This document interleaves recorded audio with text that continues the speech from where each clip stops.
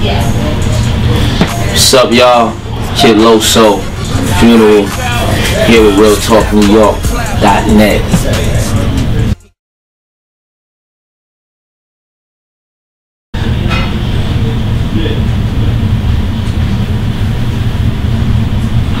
That's how I react to that. What was That's your not gonna happen. What was your reaction to the to the recent leak of the Soldier Man video? Stupid boy swag. That's what you mean? Yeah. Um, I was mind boggled. I mean, everybody knows what Kat Stacks does and, you know, what she's about. Um, it was just funny to me. I don't know. I, it was, and I just did it out of good humor. I have nothing against Soulja Boy. Soulja Boy is a talent. He's young. He's doing his thing as a young man in this industry. Um, his choice to be with Soulja Boy is, is his own. You know, personally, I think it's stupid, but you know what I mean. He might think it's cool. You know what I mean? So um, that's it. I, I had a little fun on Twitter.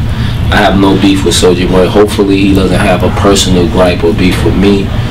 Um, you know, just in good humor. You know, people joke on me on Twitter all the time. Um, they have a Fab Chip Tooth page on Twitter. You know what I'm saying? I, I have not. I don't look at it take it anyway. What are your thoughts on this Brian Pumper character? Brian Pumper. Brian Pumper, I guess, is right now trying to be a rapper, so he's looking for promotion and publicity. And I just gave him a little bit of what he was looking for yesterday by making him a trending topic. You know, um, I mean, I think he thought that by himself being a trending topic that he was like really that popping, but I made you that popping. Like I made, I, I I made you poppin'. Well, I made Brian Pumper's jewels poppin'. You know what I'm saying? And don't be construed. I think some people are confused when you say jewels and it's a porno nigga. They might have thought like um, something else. We're talking about his jewelry. You know what I mean? He wears a lot of fake jewels. If you don't know, you know what I mean. But I have no problem with Brian Pumper either. You know what I mean? Other than the fact that he wears fake jewelry.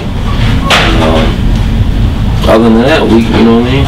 I'm, I'm, I'm good. It's in good humor, man. It's in good fun. I don't have beef with anybody via Twitter. Anybody feels any kind of way, you know what I mean? Um, I feel it needs to go further than that, then I'll deal with that accordingly off Twitter, you know what I'm saying? So